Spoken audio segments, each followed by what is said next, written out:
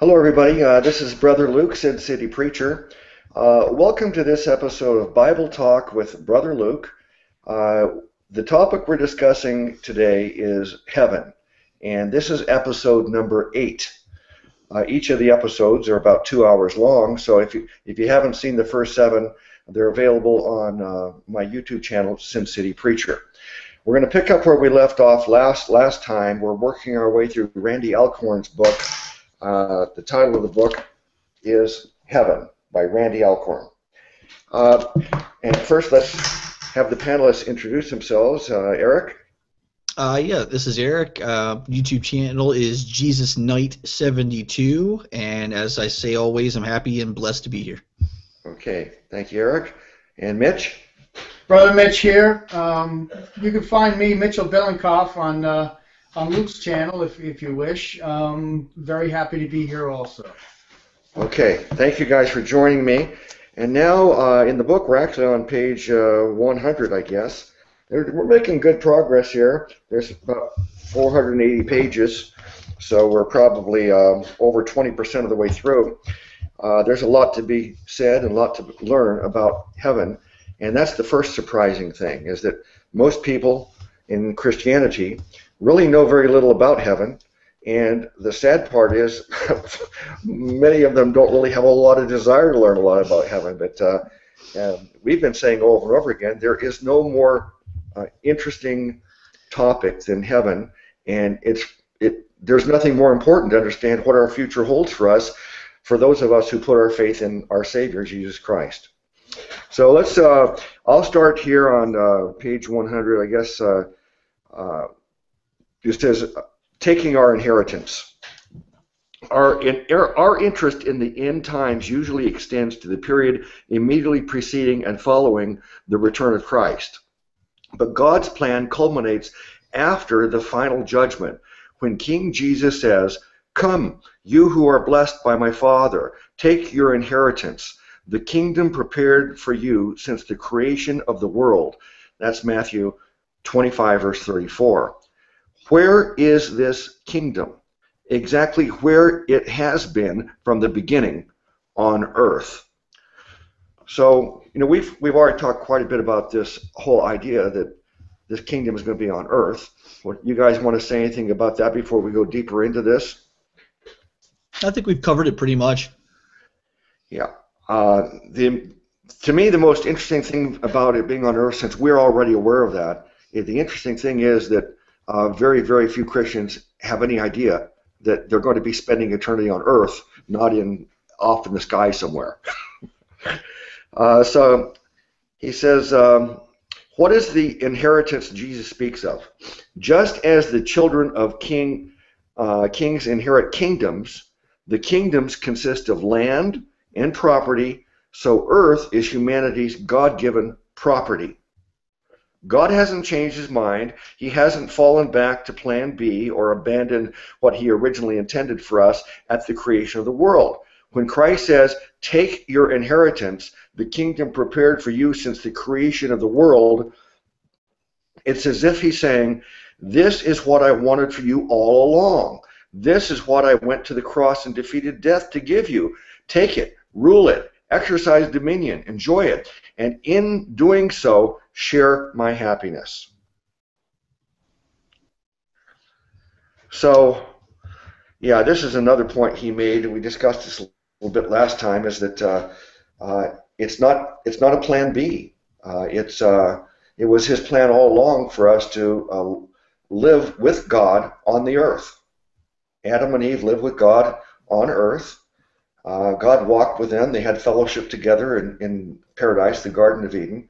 That was the way God intended it. And in the end, that's where it will be for, for us who trust our Savior Jesus. Uh, God doesn't throw away his handiwork and start from scratch. Instead, he uses the same canvas to repair and make more beautiful the painting marred by the vandal. The vandal doesn't get the satisfaction of destroying his rival's masterpiece. On the contrary, God makes an even greater masterpiece out of what his enemy sought to destroy. Satan wants us to give up on God, on our purpose and calling, and on our planet. God reminds us, quote, The one who is in you is greater than the one who is in the world. That's 1 John 4 4. Satan seeks to destroy the earth.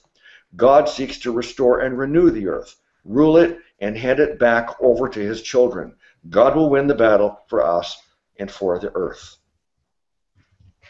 Yeah. So this is uh, this is much more than just uh, dying and going to heaven and living in the in the clouds and playing a harp and and uh, saying hallelujah and singing in the choir. You know, there, there's there's much more of, a, a, substantial reality. We'll have real bodies living on the real earth, but we will be, be re, uh, re, um, resurrected, re, um, reassembled with a glorified body that's like a Superman's body instead of the old body that is much more limited and frail and becomes sick. No, uh, we'll have a perfect body that lives forever in a perfect world without, you know, no more death, pain, sorrow. All right. Um, uniting heaven and earth. God's plan of the ages is to bring all things in heaven and on earth together under one head, uh, even Christ. That's Ephesians 1.10. All things is broad and inclusive. Nothing will be left out. This verse corresponds precisely to the culmination of history that we see enacted in Revelation chapter 21. The merging together of the once separate realms of heaven and earth fully under Christ's lordship. Uh, you know, I've read the whole book and I've read ahead. I know where he's going with all this, but th- this idea of all things is something that we're going to really uh, go into much more depth on. But uh, it's not just that he's going to give us these glorified bodies that never get sick or get old, or uh, but the bodies need a place to live. he's going to give us a glorified, resurrected earth too, a paradise on earth and all things of on all all of creation will be restored, rebuilt, and be better than ever. Um, anytime you guys want to interject, you can feel free to. Don't wait, worry about me uh, uh, pausing or asking a question. Oh, okay. Um, yeah.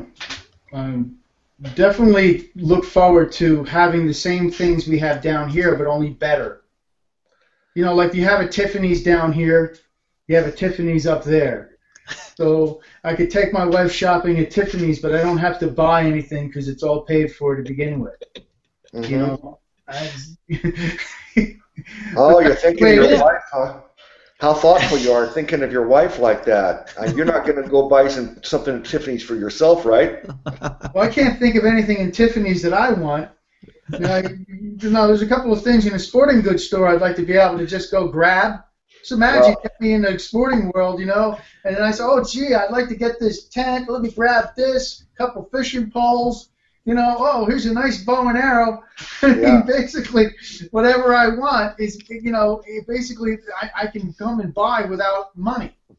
Yeah, and I've got some good news for you, brother, because uh, I plan on opening up uh, uh, Luke Boozer's uh, pub. Well, you're being oh, competition no. with me. You're being competition gonna, with me. I'm gonna have I'm gonna have I'm gonna have green beer, and you can come over anytime, and I won't even charge you anything for the green beer. Oh, I don't know. You're you're in competition with with with with, with, with, with brother Mick. oh. It'll be a big universe, brother. Big you know what it is, though. It doesn't matter because there's no money to be made. It's all we don't need to worry about it. We can go to yours or you can go to mine. Yeah. Okay. Uh, he says the hymn quote This is my Father's world unquote expresses this truth in its final. Uh oh, he was resurrected. Yes, he was. Oh man, look at that. Right back again. What's going on here? let me make sure I don't have uh, the other thing on that you know that that uh, no I don't have the uh, um, Skype on so I don't know why that's happening now. Okay, so there's two of me now, huh? Yes, there are. Let me get rid of that. Let me get rid of that alter ego. the alter ego. There really are two of do them. that. Yeah, alter ego of myself There- on uh, YouTube. Yeah, there's really two of it, two of me anyway, because I got the old man and the new man. There you go. yeah. Um, okay, so let me see. Um, I was reading this part. Uh, just as God and mankind are reconciled in Christ, so too the dwelling of God and mankind, that's heaven and earth, uh, will be reconciled in Christ. As God and man will be forever united in Jesus, so heaven and earth will forever be united in the new physical universe where we will live as resurrected beings. hmm Yeah. So uh, You this. know, I think I think there's an important point here, you know, that we keep that we keep coming home to in this in this uniting heaven and earth and talking about God didn't have a plan B.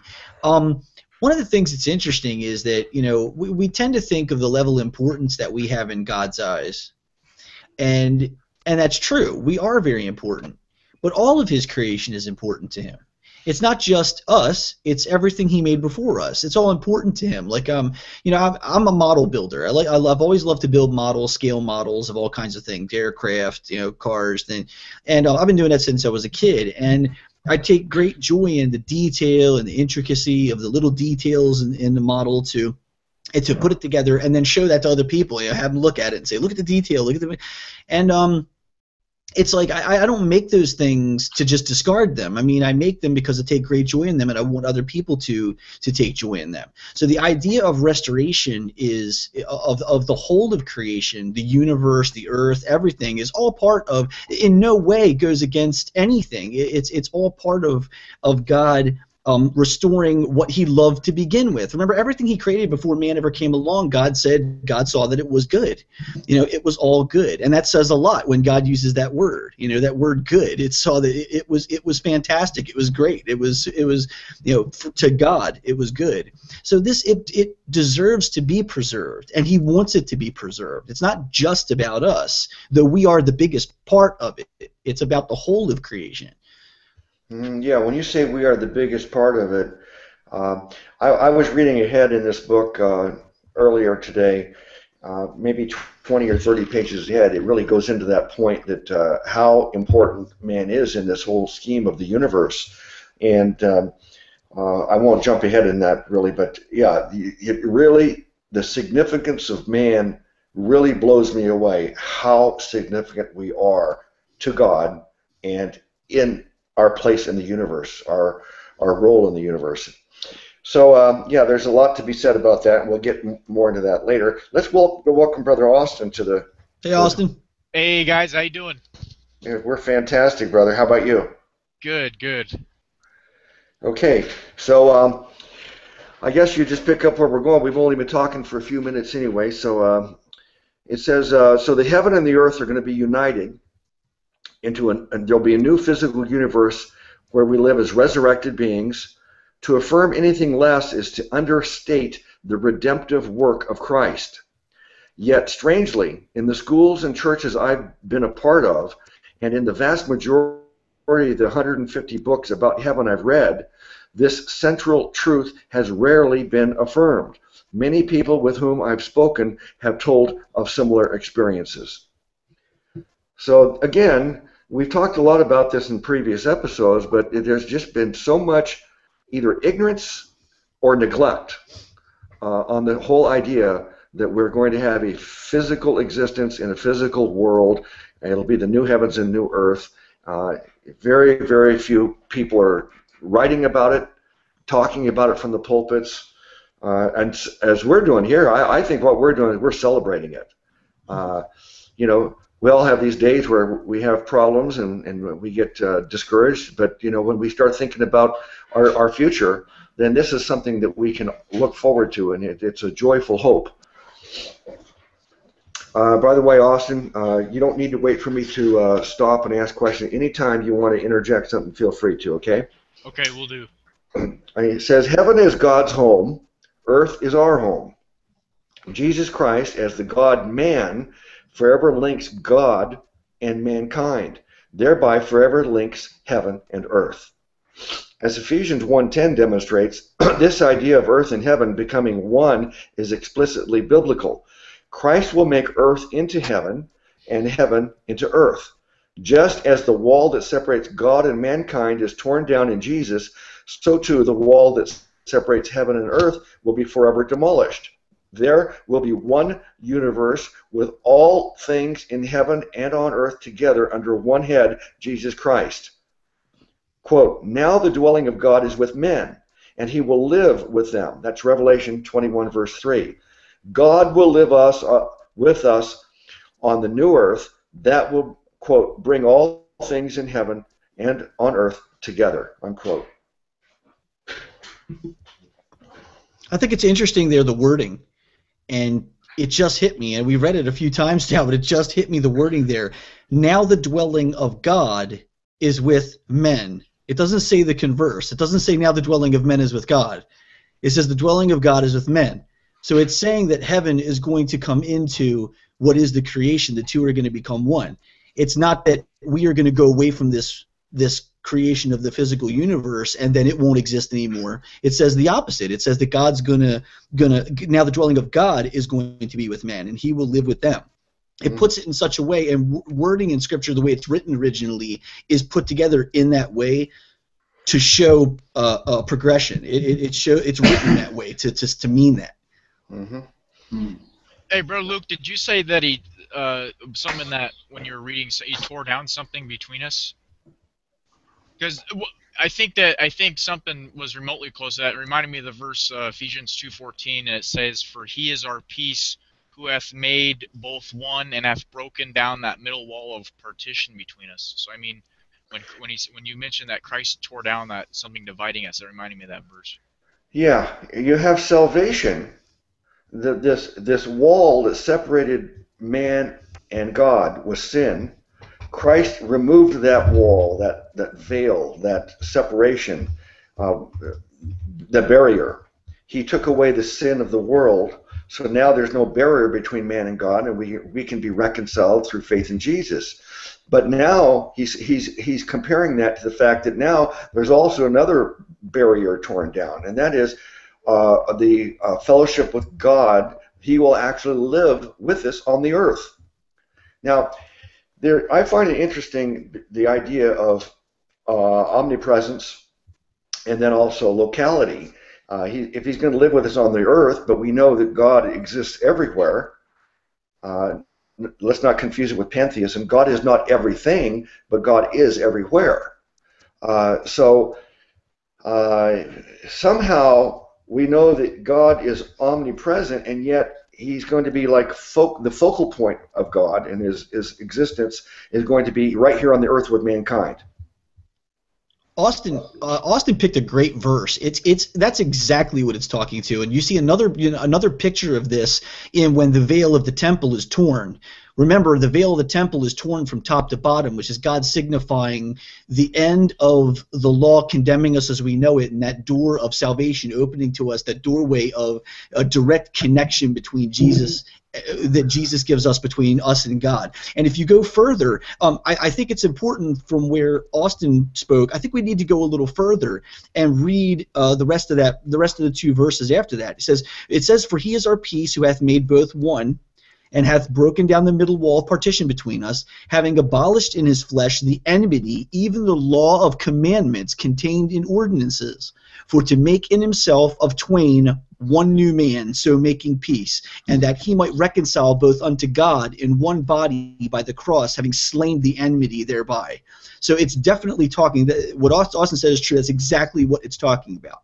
Mhm. It's opening that door for direct fellowship between us and God through Jesus Christ. hmm So you have a, uh, a physical barrier, a, a, a spiritual barrier with sin. God's removed that, and, and then there's also a physical barrier, and that is that that God is not in person living here with us on the earth, but He will come to earth after He recreates us and the and, and the earth, and we He will come and live here with us. There will be no barrier, physical barrier separating uh, our God, our God Almighty Jesus Christ, the God Man, will be with us on the earth. Absolutely. That does also ring a bell to that. Uh, this verse is also I believe, taken way out of context for the kind of like the lordship crowd. But reminds me of that the new man. Well, it says in Second Corinthians five seventeen, therefore, if any man be in Christ, he is a new creature. Old things are passed away. Behold, all things become new. Isn't that just referencing that Christ is dwelling within that person to become that new creature? Well, well, I think Austin, it's important to go back to that verse. It's funny that they take, you know, it's interesting that they do this often because they take they take a verse that is meant to say exactly the opposite thing. And they take it because they take the one last part of that verse and say, "For to make in himself of twain one new man." But look at the beginning of that other of that verse, verse 15. Having abolished, what does abolish mean? thrown away, gotten rid of, in his flesh the enmity, even the law of commandments contained in ordinances. So it, says that right before that. So it's saying he's made the law of no conviction to the believer. He's it, it does not it cannot convict us anymore. It, that it says it right there. For so for them to take just that next clipping of the verse and say, "For to make in himself of twain one new man." Well, yes, we are a new man. We are a new man that doesn't mean that we're never going to do anything wrong again. It means it means in spiritually we have been perfected in our spirit, yet in the flesh we, we still unfortunately dwell in this this this shell, this sinful you know this sinful body that unfortunately we're still part of the creation that that is in sin. So so yes, it does make a new man because as far as and the way you got to look at that is because as far as God's concerned, we're already dead. We were up on the the minute we claim Christ we were up on the cross with him. We were beaten with him. We died with him. We, as soon as we claimed that, we d- went through all that with him. We claim all that. Okay, he did that for us and took us with him. So God, when He sees us now, He doesn't see that anymore. He because Christ completely washes that away. It's funny because you say that, and I just walked back in the room because I got to get some dinner. But um, you know, my last three videos or last few videos, I've been dealing with a, a, a sinless perfectionist. Right, you, you did uh, the First John series. Yeah, I did. First yep. John. Yeah. yeah. Yeah, that was a much needed uh, teaching on First John. Uh, I, I, agree with you completely on that, John. Anybody who's watching this video, you, you should watch Mitch's uh, video on First John because I think that uh, um, people, there's a lot of people that they they want to uh, think of First John as a as a obligation that they. I mean, I know some people that they say they they are using First John continually over and over day, all day long. Every time they, mm-hmm. anything comes into their head they think is bad, they go to First John, and they don't realize that the, the First John confess our sin doesn't mean every time we think we've sinned, we've got to go confess it. It means that before we get saved, we just need to acknowledge we're a sinner that needs the Savior. Once we've done that, then we've confessed all of our sin uh, that we're a sinner. Period. And, and no more. There's no more need for continuing confession, whether it's to a Roman Catholic priest or whether it's in your privacy of your own room, uh, house, uh, to between you and God. You don't have to confess it anymore. All the sins have been paid for. We just need to acknowledge that I'm a sinner. I need to be saved. Jesus is the Savior. You know, I could take that a step further with from the Old Testament you realize that the Old Testament they had to, to, to sacrifice blood, the blood of bulls and rams in the Old Testament. Well, they had a sacrifice that they had to sacrifice for sins that they didn't even know that they committed. So if you have to sacrifice for sins that, that you don't even know you committed, how are you possibly going to be able in this age be able to confess every sin and you don't even know what all your sins are? It would right. be impossible. Yeah. Like Jack yeah. says, we sin an act, word, or deed throughout the entire day and not even know most of what all they are. Well, I'm going to grab some dinner. I'll be right back. Okay. okay. All right. Uh, so he said God's plan is that there will be no more gulf between the spiritual and physical worlds. There will be no divided loyalties or divided realms. There will be one cosmos, one universe united under one Lord forever. This is the unstoppable plan of God. This is where history is headed. When God walked with Adam and Eve in the garden, earth was heaven's backyard. The new earth will be even more than that. It will be heaven itself. And those who know Jesus will have the privilege of living there. Now, I uh, I subscribe to a publication, a free publication uh, called uh, Grace in Focus. and it's uh, put published by an organization called Grace Evangelical Society. And I don't know if it's a coincidence, but uh, in the in the this month's publication, they do a a review of this book that we're going through, this Randy Alcorn's book uh, on heaven. A, a, a, review, a critique of it, and uh, they, they basically uh, have uh, two complaints and, and, one acknowledgement of, of, you know worth that it's worthwhile. One is they question whether his presentation of salvation is is tainted, and I agree that uh, he presents salvation, but then he adds surrendering your life and and uh, uh, you know repenting of your sins. So he he spoils it. He has the real message of salvation, and then he spoils it by adding those things. And we covered that in the very beginning, the one or two video one or two when we talked about how do you get to heaven. So we we explained it the correct way. So their their criticism of Randy Alcorn in that respect is valid.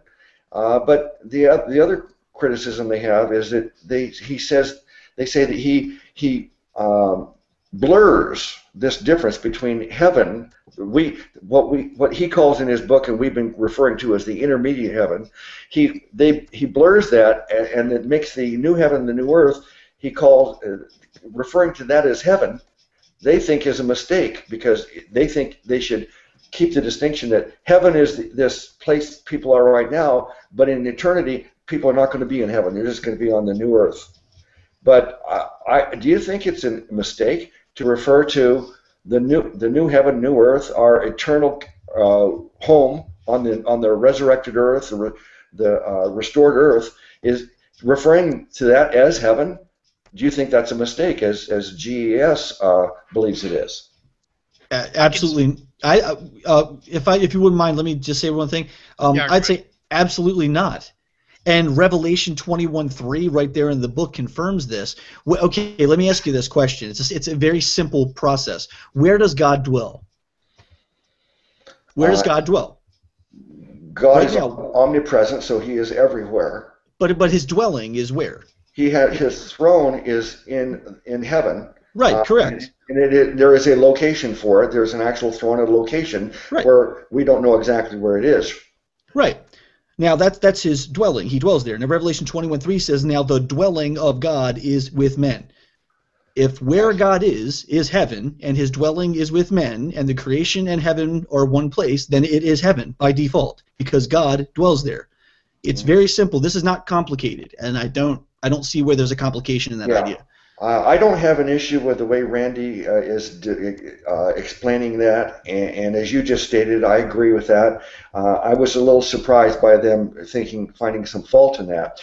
Their their their real conclusion about the book was that uh, it's not for the new the uneducated Christian, the, the, because they could be get some misunderstandings, particularly about salvation.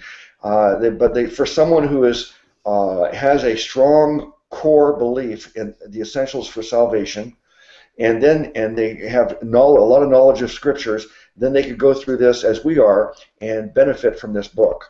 I, would say I agree with that statement. I'd say that's accurate. I, would say it's a you know as a Christian you you're when you're first new Christian you're on the milk as Paul says you're on milk and you desire he desires for us to be on meat and God desires for us eventually to be on meat. So there are milk things you you handle as a as a first believer, as an early believer, and then there's the meat issues you handle later. Yeah. And there are certain things that are a little more advanced that maybe beginning Christians should be, you know, more more um, more dealing with you know themselves, you know, their relationship with God, their their fellowship with Him. Um, you know that should be their main focus, their understanding of salvation, the, the, the simpler things at first, and maybe this is a little more advanced. Um, yeah, uh, I, would, I agree with that. I'd say I agree with that. I think I could kind of flip it around on GES. Uh, first, saying that uh, personally, I have recommended and endorsed GES wholeheartedly for the last couple of years. In numerous of my videos, I have a playlist just called, I think it's Bob Wilkin or GES, Grace Evangelical Society. Uh, I recommend them. I find very little fault in them. However, I could have to say the same caveat about GES or any organization I've ever ever studied, and, and that is that uh, uh, there's a, a great uh, benefits in, in being associated with them, learning from them, uh, mm-hmm. hearing them out, and sure. yet I still find some fault in their teaching because sure. I, I, find some areas where uh, I'm not in complete agreement.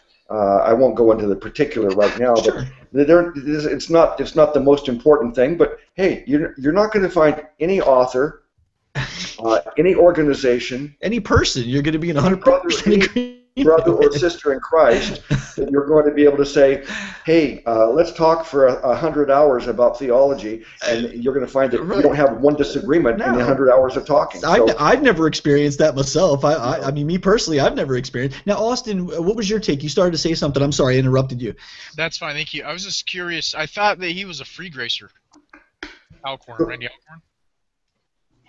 Uh, well, I think there are spots where he kind of. I think they have a legitimate argument. There are spots where it seems that he is he does a, a, a very good description of free grace, and then he seems to add some things to it. And he seems to like like Luke was saying. He seems to add, you know, uh, t- turning away from your sins, and and it, it seems to imply that that's now now again. And this is a clarification issue. Should Christians who are saved try to turn from their sins. Absolutely, not because your salvation rests upon it, but because as a as an obedient son of God or obedient daughter of God, you should try to turn away from the things that don't please God. It's just it's just a natural process of what you should do as a as a, a obedient child.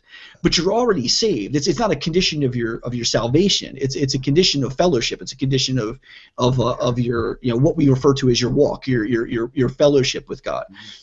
Yeah. Okay. When uh, on probably, I think it was probably part two or maybe part three when we were discussing this and going through his book, uh, I purposely edited out some of his uh, statements that were uh, erroneous in this that regard.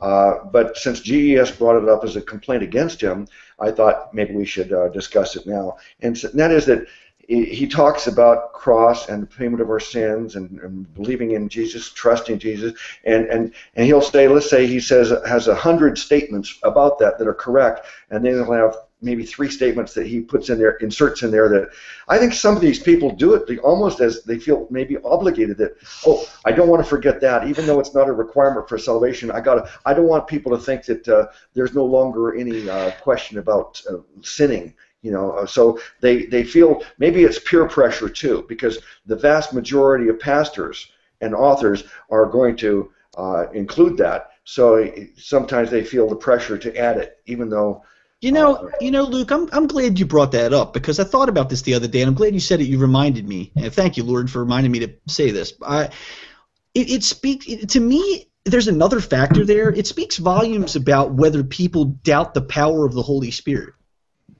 I mean, it's almost as if they say, if I don't put this stipulation to you, I can't trust that you're going to do these things. I, I can't trust that you're going to be better or grow or or grow, grow yourself out of some of these sins. And in, in me, to me, that's almost doubting the power of the Holy Spirit, that the Holy Spirit can eventually change that person and through time mold that person and change that person in their heart, and they'll they'll begin to overcome some of the things that they have issues with, which is what you become saved, and then that's the process that happens. That doesn't happen first. You don't stop sinning, get saved, and then everything's great. I mean, you you the, the you know your your your life of stopping some of the sins that you fall to has to do with your growth in in, with the Holy Spirit through your through your spiritual life, you know, through your life with uh, with Christ. So that that's a natural progress after the fact. So it, it, it, I wonder, you know, is that so much like if I don't tell you to do this, you'll never do it? I mean, because and to me, that in a way, you're saying you doubt the power of the Holy Spirit to change that person's life eventually. Yeah, I, let me say that I, have uh, said this many times while I was actually preaching. Uh, and also uh, in some videos, I've made this same point too, in that people act like well, you're negligent if you don't talk about that. And I say, no, no. What I'm doing is, I want to tell them how to get saved. I don't want to confuse the issue and make them think that there's other other requirements that, that have nothing to do with getting saved. So I'm going to tell them exactly what they need to do to get saved. I'm going to trust Jesus to save them. And then once they're saved, I'm going to I don't have to hold their hand and try to make them grow and mature. I'm going to turn they're turned over to the Holy Spirit now. I trust Jesus to save them. I trust the Holy Spirit to transform them.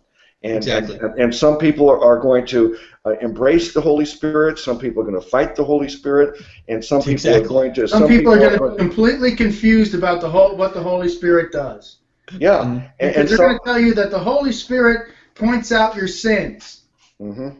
Points them out. Up, you got to sin there. Clean it up. Up, Yeah. you got to sin over here. Clean it up. It's, it's not it's not that the Holy Spirit points out your sin. It's that the Holy Spirit molds your heart to move away from those things. He- he- Absolutely, but these he- people are lost. These, pe- these people are, are looking at the Holy Spirit as some sort of uh, uh, of, of, of, of you know oh now here you do the work. Yeah, it's it. There's a difference between it's like the difference between punishing somebody and um and uh and and um reprimanding them. You know, it's like th- there's a there's a if you're reprimanding for a purpose, you know, or just punishing because you enjoy the delivering of the punishment. You know, they, they make the whole they make the Holy Spirit someone who is the happy deliverer of the bad news to them. It's not that. It's that the Holy Spirit is challenging your heart and convicting your heart to to want to move away from those things. It's not that he's putting a guilt trip on you for feeling it. It's that he's making you realize, hey, this is something that's affecting your fellowship. This is something you should be growing Yeah. from, and over time, he molds you out of this. Mm-hmm. Right, but you know what? Facial hair is against the Holy Spirit, so we should all shave. yeah. It reminds me too. Brother Jackson mentioned this last night. He said the parable of the sower, and you know most people always think that everybody has to be a four, and that four was the guy who bears much fruit and does everything else. But I, we came to the conclusion that two and three is also saved, and two is the one that uh, when uh, persecution comes they turn away, and three was the one that's caught up with worldly affairs. But I mean, not every Christian's gonna have the same maturity. You might have a you might have a four and a couple twos, but all are Yeah. saved. That's the that's the Well, that that's line.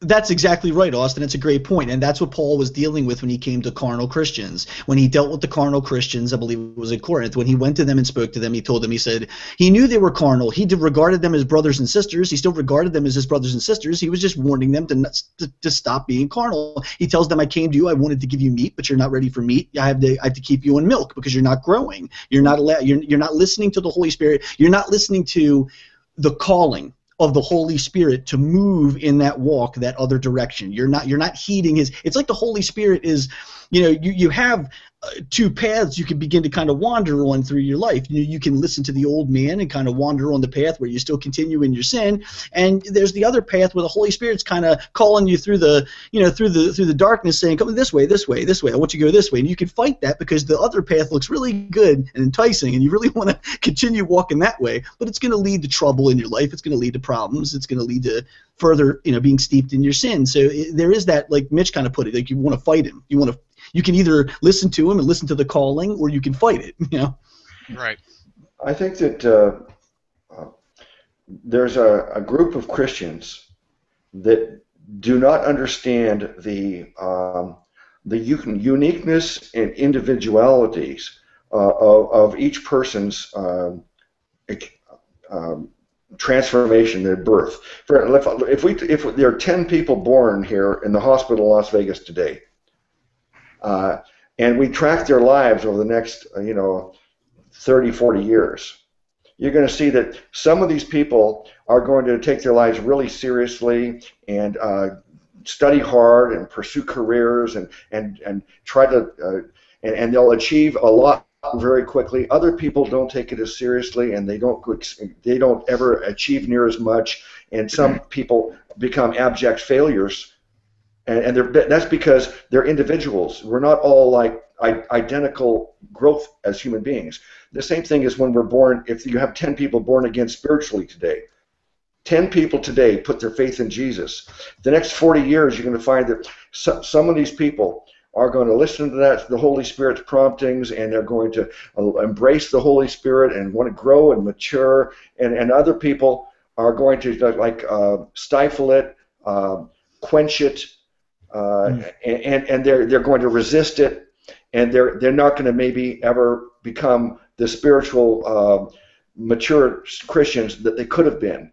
And so, just as we're not we're all unique individuals, uh, non-spiritually. We're also unique individuals spiritually too. Not everybody achieves the same level of maturity spiritually, and some do it quickly, some do it slowly, some don't do it at all.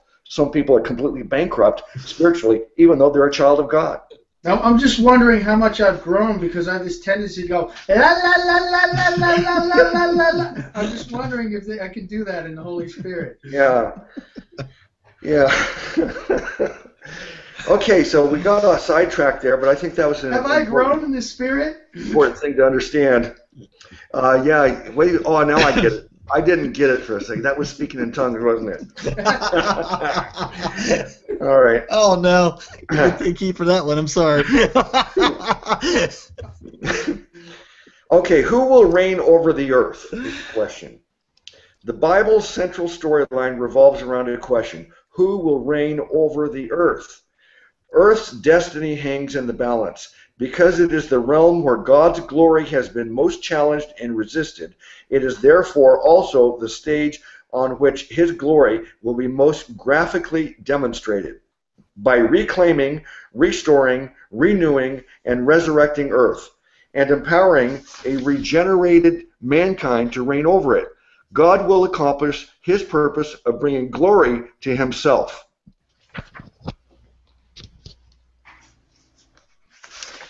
Um, you know, I've um, if if if each of us was asked, explain the Bible in one sentence, we probably would have a different way of explaining it. Let's just take a stab at that just for a moment here, okay? In one sentence, explain the Bible. Uh, who wants to go first? I do. Okay, go ahead. Jesus saves. Jesus saves. Okay, uh, Eric. That's tough, actually. I don't know if I can put it into one sentence. Um, you're going to have to do it. I used to uh, this, had this young street preacher that he was out there trying to tell people all this theology of the Bible. I said, wait a second, are you an evangelist? Just tell them how to get saved. And I made him be able to do it in like in in uh, 30 seconds. God saves. That's it. Yeah. And- Um, and so now I'm asking you to condense the Bible into one sentence.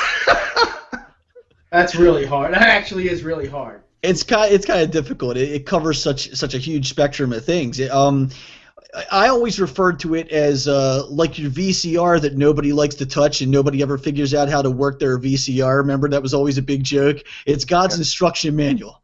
So it's it's if if you follow the instruction manual, you'll probably be able to operate the thing. But if you don't, you're not going to be able to operate it.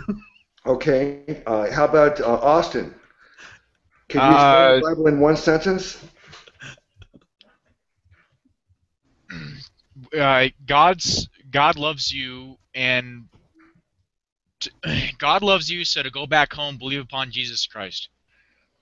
Okay. All right. Now that's a great um, statement, but I'm not sure it explains the Bible in a sentence.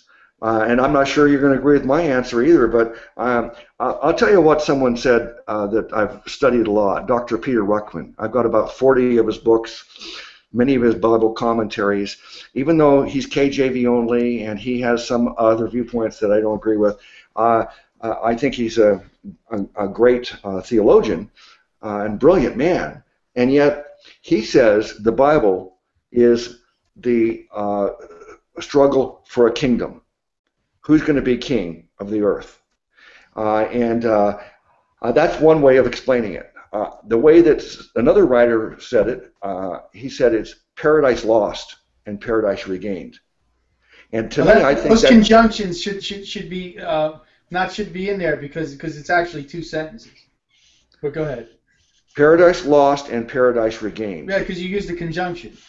Well, it's still one sentence. Uh, you're right. It is technically.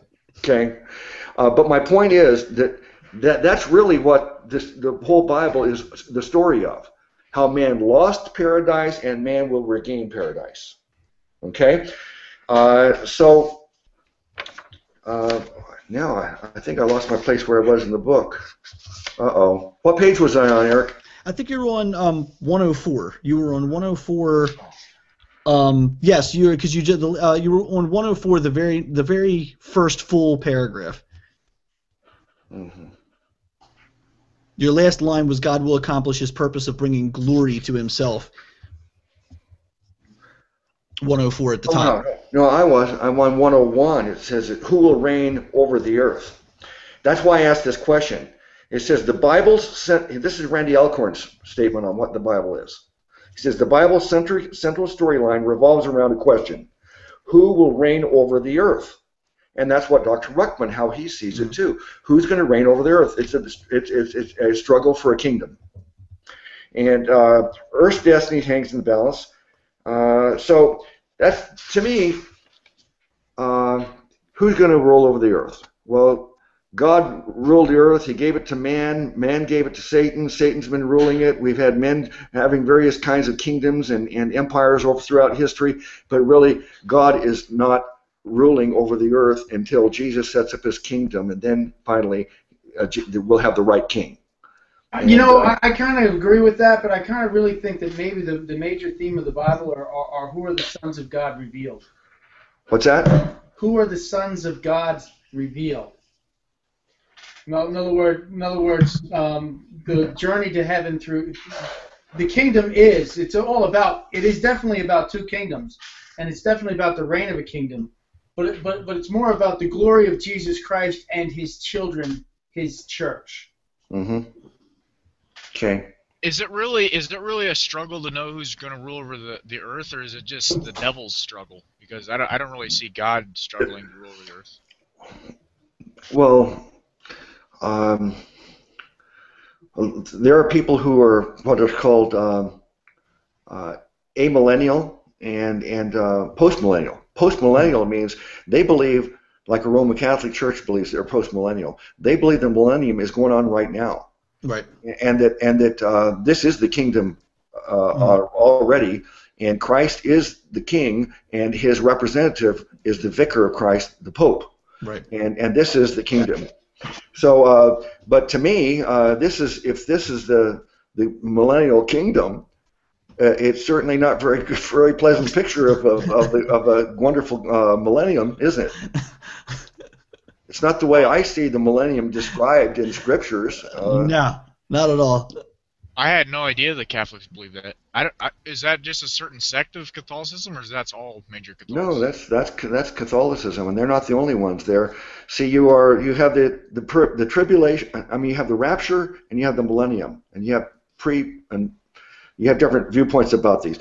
Uh, you have pre-tribulation rapture, mid-tribulation rapture, mm-hmm. post-tribulation rapture, and then you also have millennium. You have amillennium, which means there's not going to be any millennium. It's just like a, some kind of a, a weird idea that uh, doesn't really isn't a reality. And then you have post-millennial. They believe that the millennium is happening now, uh, and, and uh, the the church is in, is Jesus is on the throne right now, but uh, on the earth or through through through the Pope. Right. Uh, and then you have uh, premillennial, uh, that means that Jesus will return uh, and then set up the millennium, and he'll be the king on the earth. See, that's the uh, thing with Catholicism. I when I was used to do catechism, we got a they gave us like a Catholic ordained book that we read out of and everything. But even still, I can't remember any of the teachings Catholicism had besides uh, like the first communion and confirmation and everything. I I was never taught their views on certain things. I, I, I remember we only had one class one time on purgatory even, so I mean it was confusing being a Catholic because I think most Catholics don't even understand what they what the church actually believes. Yeah, I agree with you, Austin. And I grew up with that myself, and I agree with you. Um, I, as a child, it was a very confusing thing because and and the way it's delivered is meant to be that way. You you don't really there aren't really very many questions answered. It's mostly you you'd have to find them out for yourself or delve a little deeper to get any kind of answers for things like that because it's basically just repetitively you dealing with the same things over and over and over again at mass and you're you're you're con- you you just hear the same things and what's prepared for you and that's all you, you're never I was never once uh, ever uh, uh, told or or um, inspired by anyone in the Catholic Church to go read my Bible. Never. Right. Because that was that was something I'm not supposed to really try to understand myself. I'm supposed to just go at the pre-prepared mass booklets that you go there and you read what's been prepared for you. It's usually just the same thing over and over and over again, except what the priest decides he's going to make his his uh, speech about, you know, for the day, his sermon about for the day. Um, but that's that's that's it. There are no real there's no real attempt to answer the deeper questions unless you delve into those things yourself. Well, I missed all of those things because we usually left early and got jelly donuts. You know, we were the ones who like by the back door before before the church like let out, and then we got out the back door before just before the church let out. So we didn't listen to that. We're like, hey, come on, get out of here. We got to get to the bakery. We pick up some jelly donuts and go home. So we're like, we we got the up down up down kneel pray this that the other end. Let's get out of here. That was it. Mm-hmm. Right. Okay, I'm on, I'm on page 102, and he says, In Scripture, those said to have thrones include God the Father, that's in Hebrews 12:2, and Revelation 22:1. Christ the Son, he has a throne, that's in Luke 1:32 and Hebrews 1:8. It says God's human children, that's in Revelation 4:4 and 11:16, and Satan has a throne, and that's in Revelation 2:13. Could you look that up, Eric? Revelation 2:13. That's not, that's one I'm not familiar with.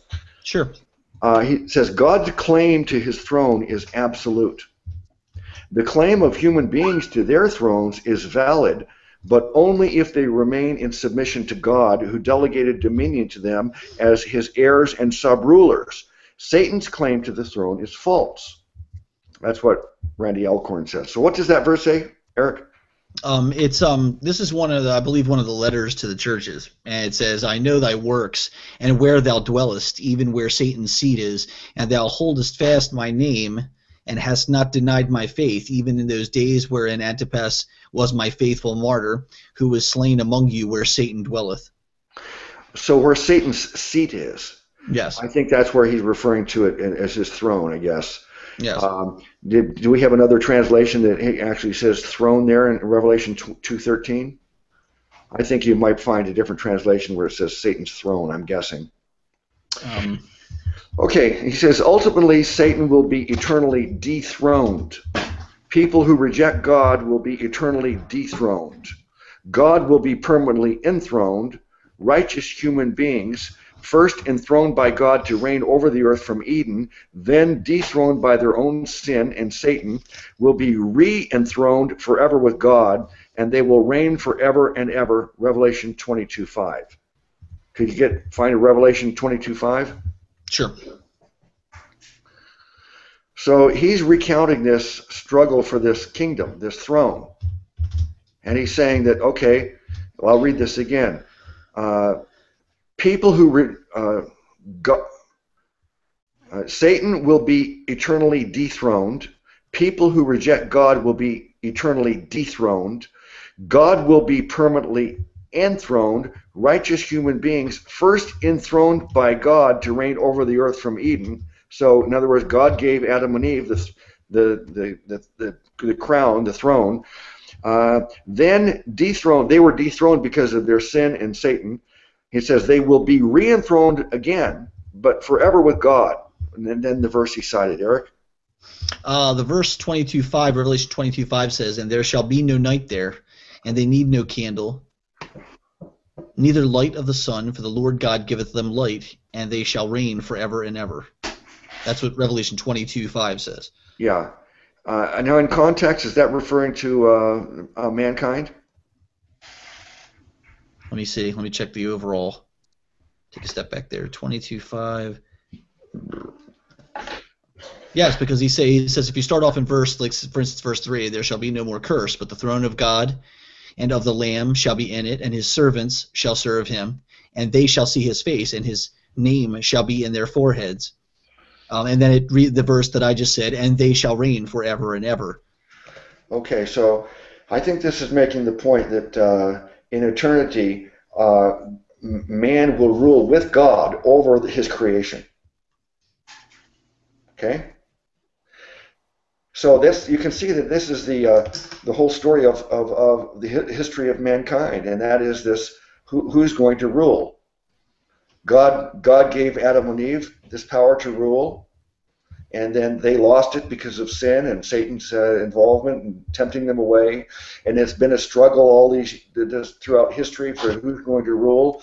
But we know in the end, God will rule, and man will rule with God uh, throughout eternity. Christ will become the unchallenged, absolute ruler of the universe, and then will turn over to his Father the kingdom he has won. Uh, could you look up 1 Corinthians uh, 15:28?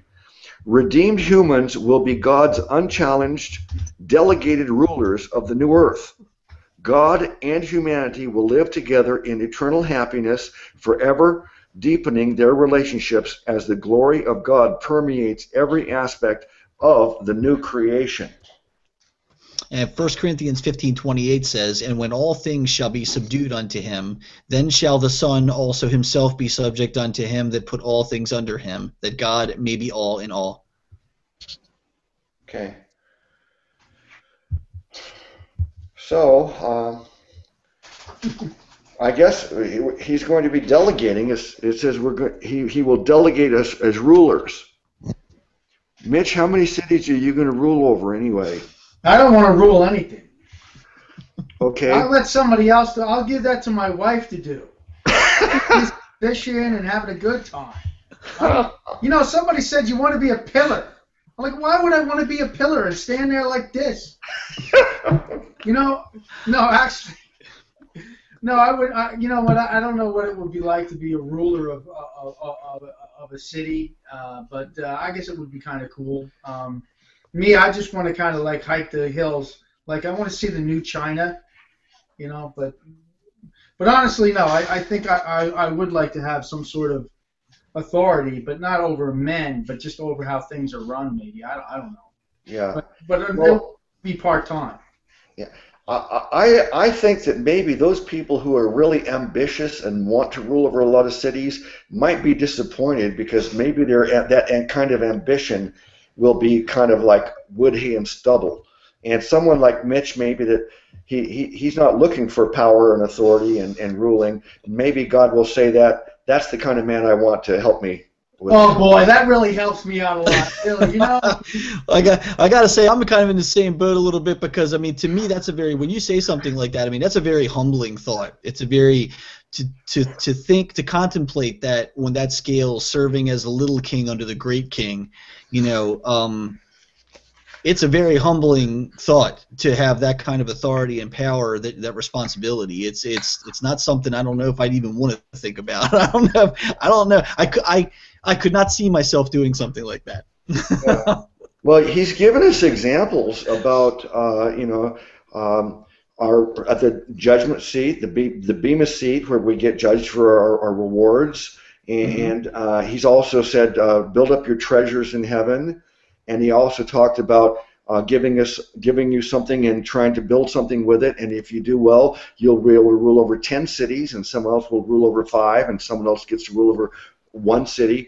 So I, I think God is not uh, against uh, the idea of us um, building up these treasures and maybe building up our position. Mhm. Uh, and not everybody is going to be equal. I, I can imagine the Apostle Paul uh, having a, a, a much larger share than Brother Luke, you know, for, for or, everything. or, or even or even any of those who came before us who were martyred, who gave their lives, their physical lives, you know, Yeah. for, for their faith. I mean, you, you you look at those people and say, I tend to tell people, I say, look, you know, I've just accepted the fact I'm not exactly going to be at the front of the line. I'm just, Yeah. I don't think I'm going to be at the front of the line. Okay, I know myself, and maybe God sees me in a different way, but you know, but I, I know myself, and I, I don't think I'm going to be in the front of the line, maybe in the middle of the line. But I think the other thing that you mentioned is speaks a lot to that is the verse that says, "You know, many de- who desire to be first will be last, and the last will be first. You know, it speaks volumes about what you were saying about those people who think they're going to get these tremendous seats of power are going to find that maybe they're not going to get these tremendous seats of power. It's going to go to somebody with a little more humility and a little more, uh, you know. Yeah, yeah, yeah.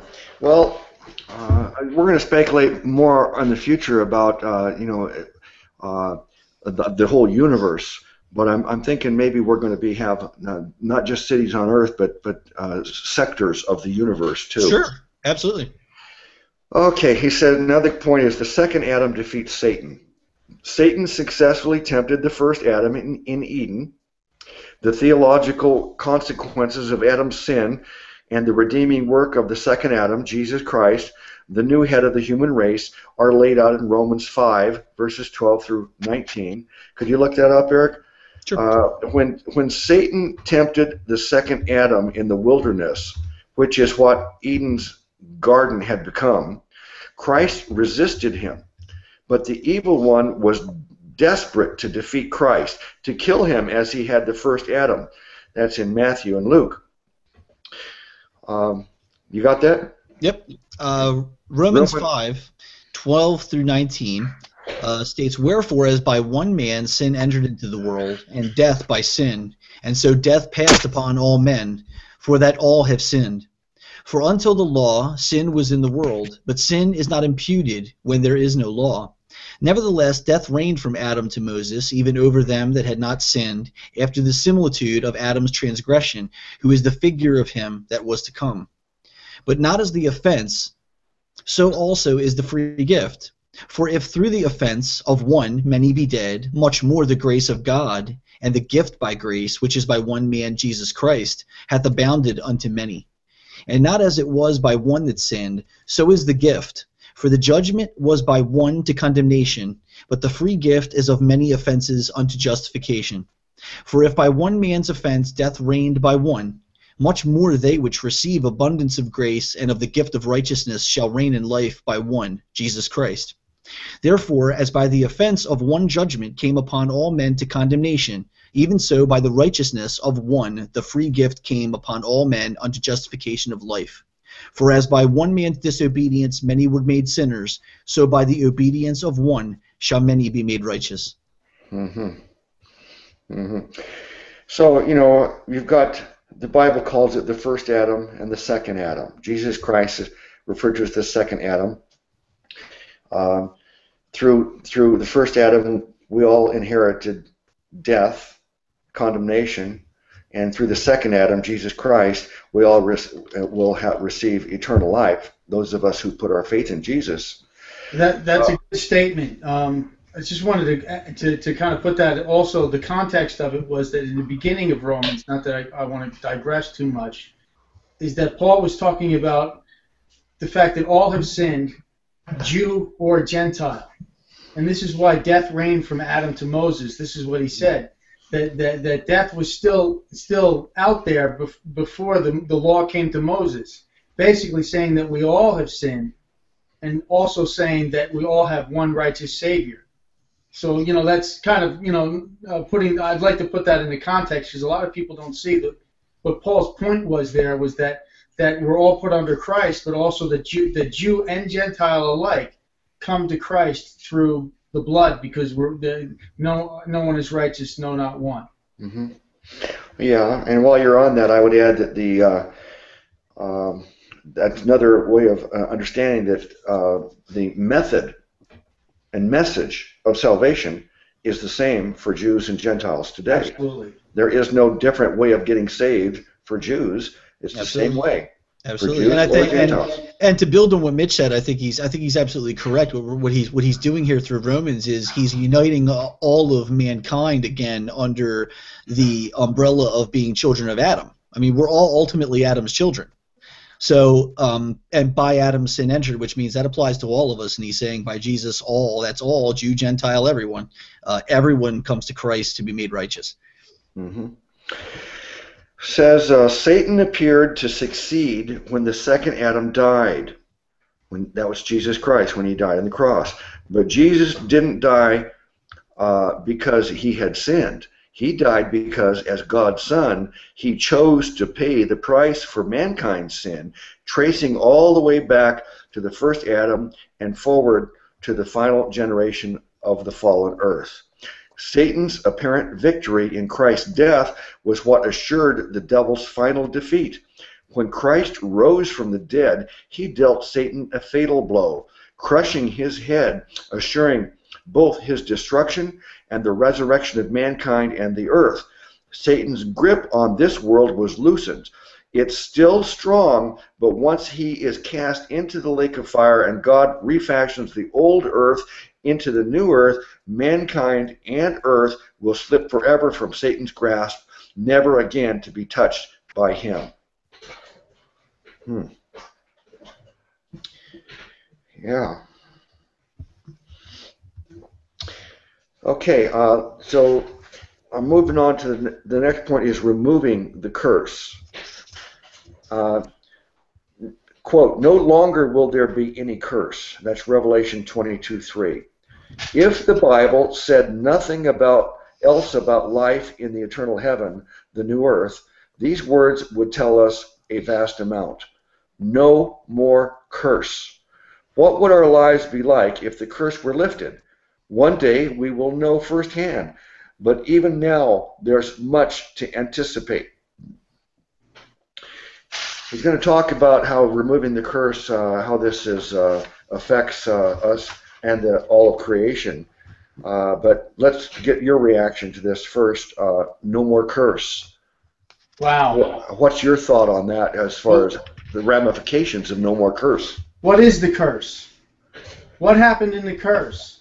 Well, in the beginning of the curse, women were going to have, of course, more travail or more pain in childbirth.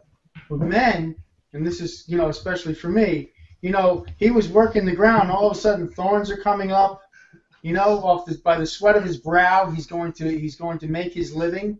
Mm-hmm. And um, so so um, so the curse and, and and death came, and strife came, and hatred came, and all sorts of things came by the striving of men uh, uh, and people to become exalted over one another. I'll tell you what another part of the curse was people don't think about too is man became a, a, a, a being that was constantly looking over his shoulder because neither did it wasn't just uh, dying old age he had to worry about. It was it was weather that could kill him or natural disaster any kind of natural disasters animals that might be trying to kill him. It might be he became he became a being that was constantly looking over his shoulder. He didn't have that before. And constantly running to make a check.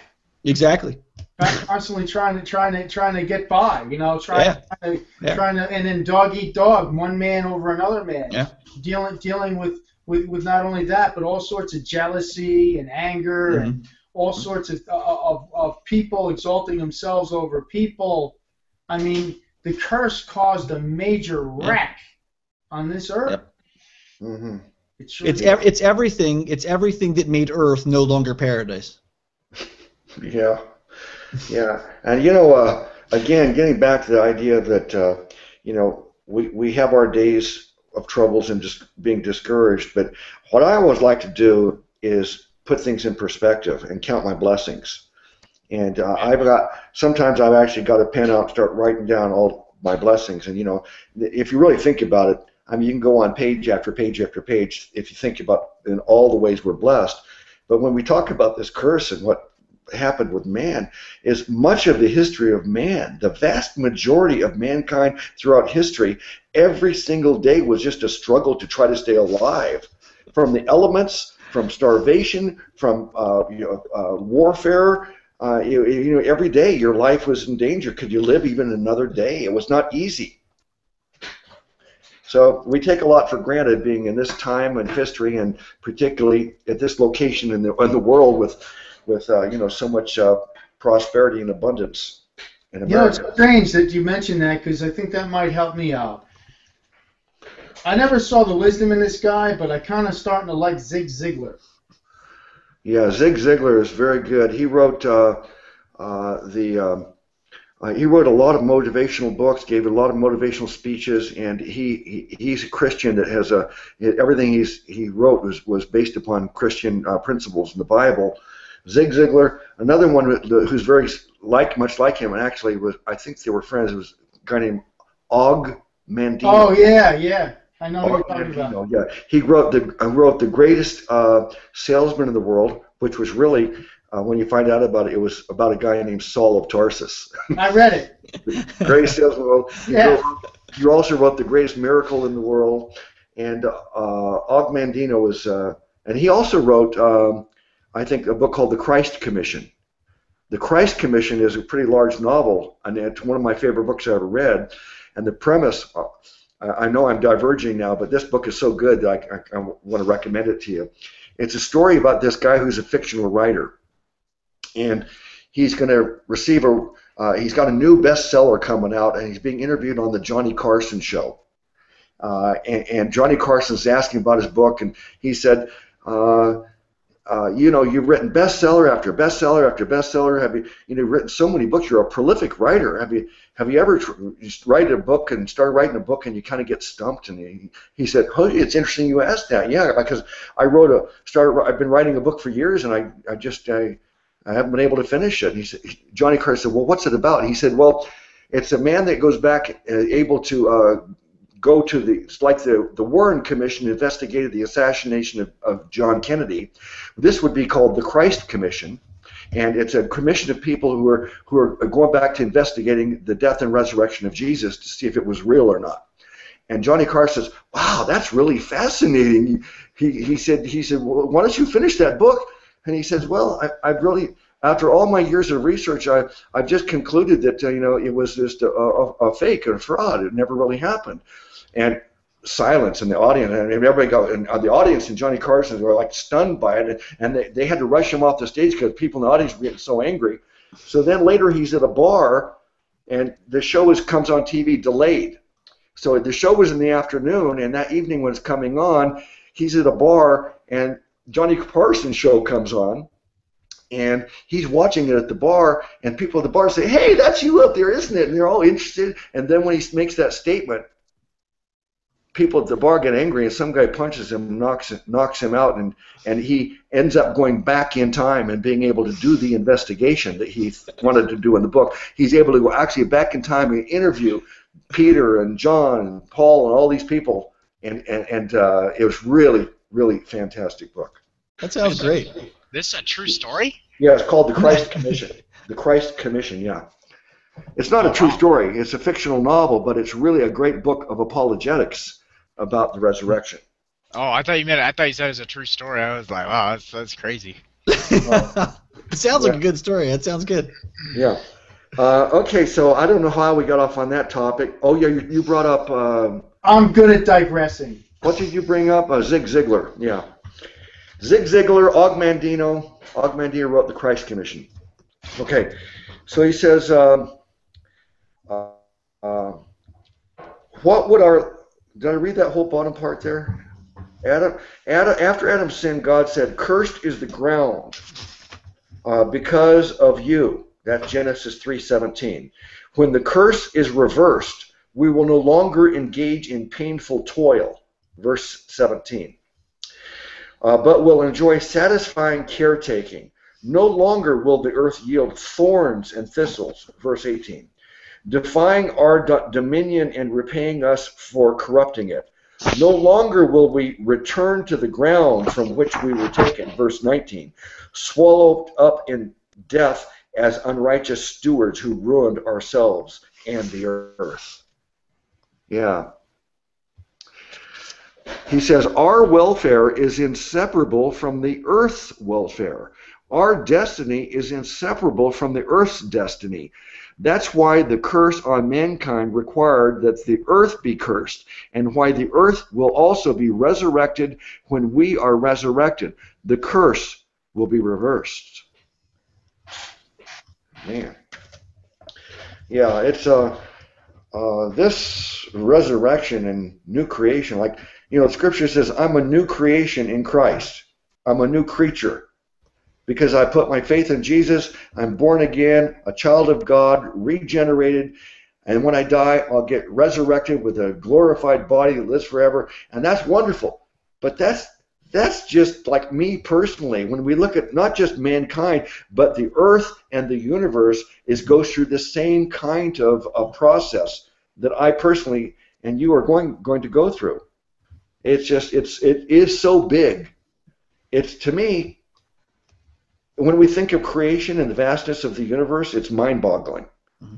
Uh, the the size of the universe is, is just you know we talk in terms of light years. How many thousands of light years? The speed of light. How 286,000 miles per second light travels, and then in a year, how far does it go? And then 10,000, 100,000 light years to get to from one point A to point B in the universe.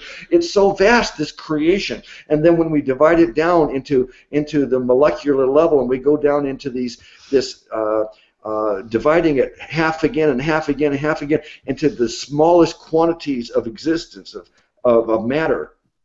It the size of it is so immense, it's mind-boggling, and all of that is creation, and yet it's all going to be recreated, renewed all over again to be perfect. Yep. That's something I've that's that's something that's always gotten me too. I've always been a stargazer, and I you know I, I, I love you know looking through the telescope and, and looking at the stars and watching celestial things, you know events and things, and it's it's just amazing. You just if you just lay there in the quiet and the peace. There's nothing like when I when I would go. I went on a hunting trip with some friends one time, and we just were out there and we're out there in the middle of nowhere, and we're about to go to bed for the night, and it's the darkest dark you've ever just imagine there's no lights there's nothing you're up here in the mountains and it's there's nothing there and you get to see you know get to see the sky in such a different way and it's you just if you just sit there and just think you know and ponder it like a christian would you know thinking about the immenseness of god's creation just how big it is it's overwhelming it's you get lost in it it really is it's yeah if you first ponder the size of the universe uh, from using the scientific measurements of how, to how large it is, it is uh, amazing. It, it, will blow our minds if we when we look at it that way. And then you reduce it down to what the Earth is, and then what you, Eric, are as an individual in this yeah. universe. Yeah, we're, and, we're almost a. Then we look at the value that God places on you, Eric, and of this entire universe. Uh, you're you're what you are in relation to the universe, and then what you are in relation to what God thinks of you and how his value he puts on mm-hmm. you is just amazing that God could love us and care for us that mm-hmm. much when we look at what we are in all of creation. I mean, when you look at the detail of of of the human being in and of in and of itself, you know, the, a person, a person is a universe unto themselves. I mean, when you cell down, is a universe unto when, itself. Yeah, when, when, Yeah. you yeah, I mean, when you get down, well, that's exactly right, Mitch. You know, it's so funny. We're learning things, and we constantly learn things in science where scientists have to go back and go, we were wrong about that. They go back and they looked at what they considered what they called simple cells, and they found out that they're not simple at all. These things, when you we just couldn't see how complex they were until we developed the technology to be able to see how complex they were. What do And they so call that like- microscope now? Spectra. What is it? Oh, um, shoot, it's what uh. I know it's on the I can't remember. tongue. I can't. I can't remember. But Uh, it's I a know microscope exactly- that we can. You, not many people have it because it's expensive. But No, you it can would blow see. your mind the level these things can see, and it's like it's it's just what like I said, what they thought was was simple is no is not simple, and it's and it's like to me, I you know I I've, I made a video about this, just scratching the surface on it. But to me, for any person who understands the science of what we're talking about now and the the the detail, even within a, a, cell, a single cell, the complexity of it, how they could think that that is some kind of accident, random accident, rather than rather than organized and created and planned and designed uh, it- it's just it's amazing to me the amount of stupidity a person has It- to have it, to it not takes far, recognize that. it I agree, it takes far more faith to believe that, to believe that it's just some total accident and fluke that all these independent organs of your body and cells and all these things work work together for your life as a human being and all the amazing things the body can do to it takes more faith to believe that's an accident than it does believe there's an intelligence and there's a design behind it You've argued with these people, right? oh yeah absolutely of course And then they'll go, "Oh, well, it wasn't a great design." yeah that's what they'll oh, try and tell wasn't you that good? Are you nuts? Okay, sure. the eyeball alone, the things it can do, uh, would would it blows your mind. There's not a camera made that can do the things that the eyeball can do. It's it's it's Yeah. It's a great design, but before the fall, it was even better. it was even better. That's well, that's exactly what I said to the guy. I said, "You're looking at the fallen side of it." that's that's exactly right, Mitch. That's exactly correct. Guy was dumbfounded at that. I, I argued him to the point where he was dumbfounded. But you know, it, it's. I think these atheists are actually Satanists. Oh yeah. Well, you know, the audience might not like my, my next statement, but this is Uh-oh. really the truth. This is this is an outlandish statement I'm going to make. Everybody who disagrees with us about Jesus and salvation are Satanists. Well, yeah, it's true. All religions of the world whether it's atheism or Buddhism or Mormonism or Roman Catholicism or any ism, any religious viewpoint about God or no God, it's all Satanism. Because mm-hmm. Satan is, is everything apart from true faith in Jesus Christ as That's your right. Savior. That's right. Absolutely. But a lot of these atheists, I'm wondering if they're actually Satanists to begin with. Especially since they, they follow, a lot of them follow Saul Alinsky's book, which was dedicated to Satan. I think some of them are. I think some of them are. And then you have the others that are simply, um, you know, it, it's a more comforting way to convince themselves that they don't have to believe in God, so they don't have to change the way they live, or they don't have to be a different person, or don't have to look at look at themselves as a bad person to begin with in order to realize they need a savior. So it, they they don't want to have that realization. People don't like to have to look at themselves in that way. Maybe, say, but I have a, a problem. people, a lot of people are going to be uh, just they they just don't know, and those no, that, people I don't too. have a problem with. But when they say no, that too oh, we don't know, and you don't understand it, but but then there's the, you can see that there's a political agenda behind it. You know that they're not being forthcoming. Right. Candid. You know right. that. All right. Um, as a result of the curse, the first Adam could no longer eat from the tree of life, which presumably would have made him live forever in his sinful state. Uh, Genesis 3:22. Uh, could you look that up, Eric? Sure. Uh, death though a curse in itself was also the only way out from the curse. And that only because God had come up with a way to defeat death and restore mankind's relationship with him. What does that Genesis 3:22 say? It says, "And the Lord God said, Behold, the man is become as one of us, to know good and evil, and now lest he put forth his hand and take also of the tree of life and eat and live forever." That's the beginning of it. It goes to another Mm-hmm. Yeah, words. and then he posted uh, angels or cherubim outside the gate, the gates of paradise. Right. Therefore, the Lord sent forth the, the Garden of Eden to till the he ground. He didn't want them to be able to go back in there and eat the tree of life and live forever, but be right. live forever in sin with, right. with a, you know fallen man. Uh, Christ came to remove the curse of sin and death. That's Romans 8 2.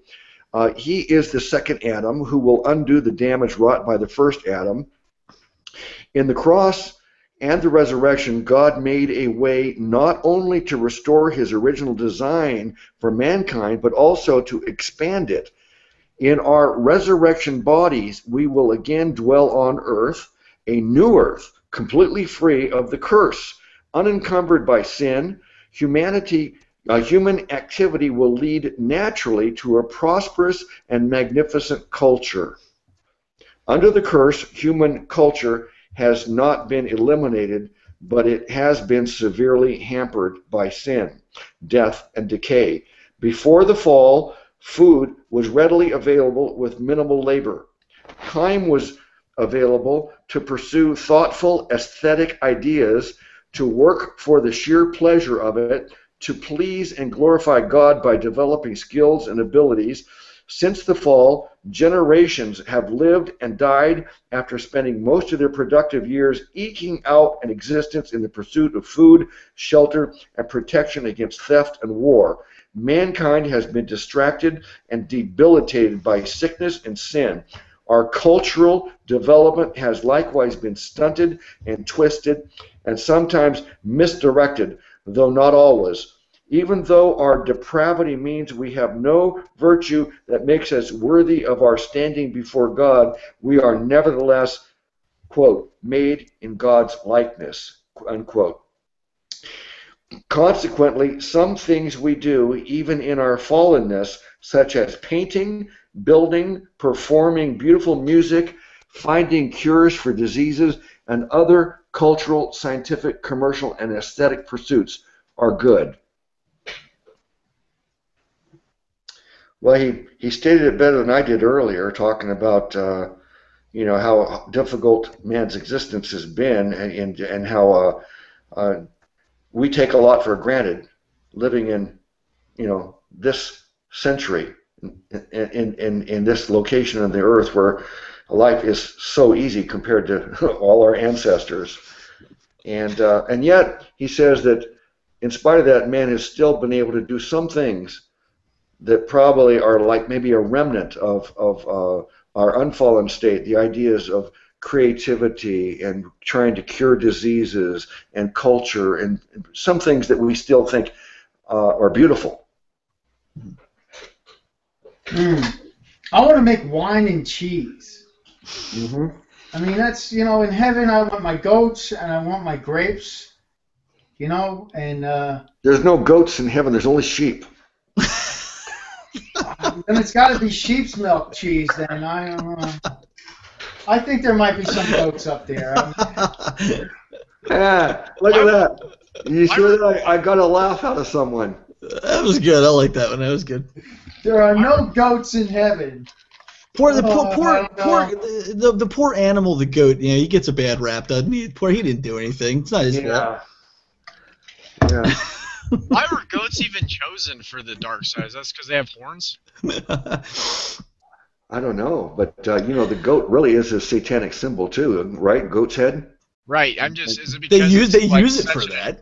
Such a like a bad comparison to a sheep. Like it's got it's got it's got stronger fur and it's got those horns and it's more crude than what a sheep would do. Well, Is that what do you really? What are go- goats good for? I mean, do people have herds of goat and they use it for meat or milk or something? Is Oh it- yeah. Oh, yeah, they're also really good for taming the pastures. They eat a lot of uh, weeds. Yeah, the garbage and they eat the junk and yeah. Yeah. So goats aren't all that bad. Oh, that's right. I've seen. I remember seeing goats eating tin cans on Oh, cartoons. they'll, they'll eat anything. They'll eat all kinds of things. My aunt and But- uncle had a goat that used to eat cigarettes. You know, you know, goat milk is the most popular milk to drink in the whole world. More people drink goat than they drink cow. Are you? I mean, serious? in other words, cow, and also cows have been uh, uh, a symbol of, of unrighteousness too, because that was the, the Right. They're what the Hindus worship. So they're not going to be in heaven either. I think the reason why the goat uh, symbol is is the is in a satanic thing isn't so much that the goat the goat was bad and as as a result it's it's that I think so much as maybe that uh, Satanists embrace the idea that they're the goats and so they they they embrace that image you know Yeah. and so they use it. Yeah. I, I should. We shouldn't be so hard on the cute little goats. Yeah, man, goats get a bad rap. They, they do. Those, That's those, why I want to raise them in heaven. those little I'll, I'll kids. take the goat cheese because I, I love goat cheese. yeah. I never I never had goat cheese. Oh, you're missing something. There's all different. I've, I've had it mixed with other things, like in certain foods. I've had like certain goat cheese products mixed with things in foods. I've had, yeah, it's pretty good. It's not bad. Uh, people I like the harder goat. goat cheese. What does goat taste like? People eat goat. I've never had goat, but if with the kind of things they eat, I can't imagine they taste very good. Where did the saying uh, "get my goat" uh, come Get from? my goat. I don't. You know, like you get my goat means it kind of like got me irritated or something. Yeah, I I've never known where they got that from. I've I've used the term myself, but I don't know where it came from. hmm Okay, the removal of the curse means that people, culture, the earth, and the universe will again be as God intended. The lifting of the curse comes at a terrible price. Quote, Christ redeemed us from the curse of the law by becoming a curse for us. Unquote. Galatians 3:13. God's law shows us how far short we fall. But Jesus took on himself the curse of sin, satisfying God's wrath by taking the curse upon himself and defeating it through his resurrection. Jesus guaranteed the lifting of the curse from mankind and from the earth. Hallelujah. hmm Amen. hmm Yeah. Yeah. Getting back to that complaint against Randy's uh, theology uh, from GES, you know that, that you you read something like this, and you read so much of what he has to say uh, in uh, these points, and it, it's so perfect. Uh, uh, but it's again, there's just a tiny bit of leaven every once in a while he includes there. Right. You got those are the most Okay, the removal the. Re- I was going to say those are the most dangerous are the ones that act sincere because you know they make they make him they try to lead you in by that oh that caring and oh man he, he means so well but man they have that devilish message and it'll take you straight to hell with it. Yeah, yeah. Okay, the removal of the curse will be as, as thorough and sweeping as the redemptive work of Christ. In bringing us salvation, Christ has already under, undone some of the damage in our hearts. but in the end, he will finally and completely restore his entire creation to what God originally intended. Christ will turn back the curse and restore to humanity all that we lost in Eden, and he will give us much more besides.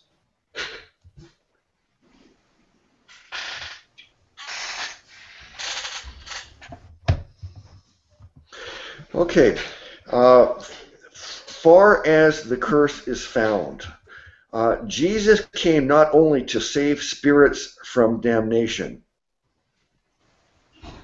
that would have been at most a partial victory.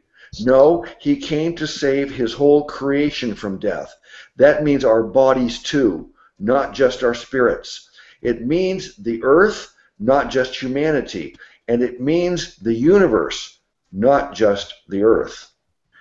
Christ's victory over the curse will not be partial. Death will not just limp away wounded, it will be annihilated, utterly destroyed. Quote, God will destroy the shroud that enfolds all people, the sheet that covers all nations. He will swallow up death forever. The sovereign Lord will wipe away the tears from all faces. He will remove the disgrace of his people from all the earth. Isaiah chapter 25. Makes me want to sing Joy to the World. Joy to the world, the Lord is come. Yeah, a lot of people don't even realize they sing that song, and it's actually about his second coming. It's about coming. It's about his his reign and his return. Yep, let heaven and nature they sing it during Christmas, but it's actually about about his second coming, his return Mhm. to the earth to establish his kingdom. hmm Um, interesting you said that, Mitch. I know you don't have the book in front of you as Eric and I do, but this is the next sentence in the book. Isaac Watts' magnificent hymn, Joy to the World, is theologically on target. Uh, That's amazing. That is That's- that is amazing. There's This no coincidence. There's no coincidence. and, you know, Eric, Eric, Mitch did not have the benefit of the book is in front of us. no, he either. did not. That was very good. That's, I think no this. I think this settles it beyond any doubt. Mitch does have psychotic powers. psychotic. Psychotic. Thank you for telling me I'm psychotic. I really appreciate it. Psychotic power. It must come from all the goat cheese. oh man. Yeah. Yeah. Okay. Uh, he says uh, that, that in that joy of the world, it says, "No more let sins and sorrows grow, nor thorns infest the ground. He comes to make his blessings flow, far as the curse is found." And real quick, I would suggest I'm glad you're reading that part because people only go so far in that song. They really need to go read all the words of that song. It's a really beautiful song, and they need to get the whole because it's, it's actually a much larger song that we that we experienced during Christmas time. It's it's it's a wonderful wonderful uh, uh verses Yeah, there. yeah. I've never really thought of that uh, song or hymn uh, regarding salvation. Uh, more it's about his he's his birth, and I thought it was about his his birth as a child, not as his not as his second coming. But because I don't, I've, as you said, I've never really known the whole song. But I have a playlist called hymns, uh, and actually, it's not just not a playlist. It's a uh, it's a hangout show like this where we're discussing some of the old hymns, and some of the old hymns. That's discrimination, Luke. There What? should be hers. You have all these hymns. You don't have hers.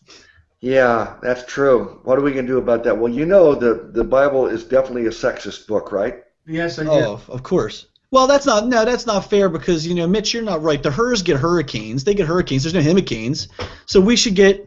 We, we yeah, have you're hymns. right. You know, they, We they have hymns. always They get get the hurricanes. hers. I don't, want to get a hearse. That's all I don't want to get.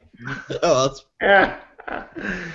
okay, but my, my point about these uh, these uh, old hymns is that the uh, uh, how great thou art, old rugged Mhm. cross, uh, bless, um, um, uh, obviously, uh, um, um,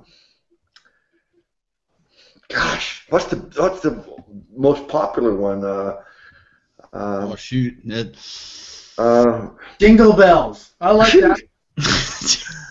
uh, Amazing Grace. there Amazing we go. Grace. There we go. all, all of these hymns if you really were to just forget the song for a moment and just read the words and study the words of them, uh, they really do present the theology of uh, salvation more clearly than most uh, pastors do in the, in the churches. okay, so he says, God will lift the curse not only morally in terms of sins and psychologically in terms of sorrows, but also physically in terms of thorns in the ground. How far does Christ's redemptive work extend? Far as the curse is found. If redemption failed to reach the farthest boundaries of the curse, it would be incomplete.